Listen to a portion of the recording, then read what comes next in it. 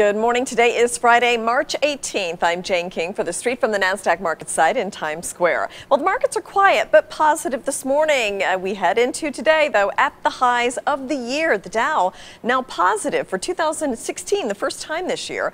The Dow's up 11% from the bottom that is being called the Dimon bottom. That's when JP Morgan Chase CEO Jamie Dimon said he would be buying company stock. While markets pushed higher by the surge in crude, which hit highs it hasn't seen since December.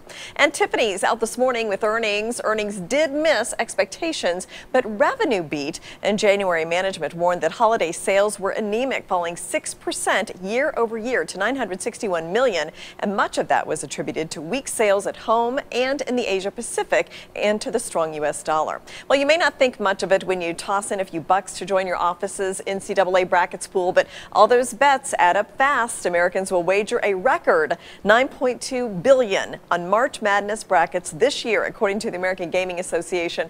It's more than double the 4.2 billion that people spent on sports gambling last year in Nevada, where it's legal.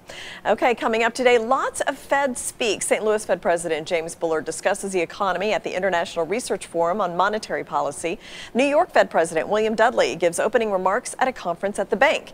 And March Michigan sentiment is released. That is a wrap for us. But be sure to track breaking news and analysis all day at thestreet.com.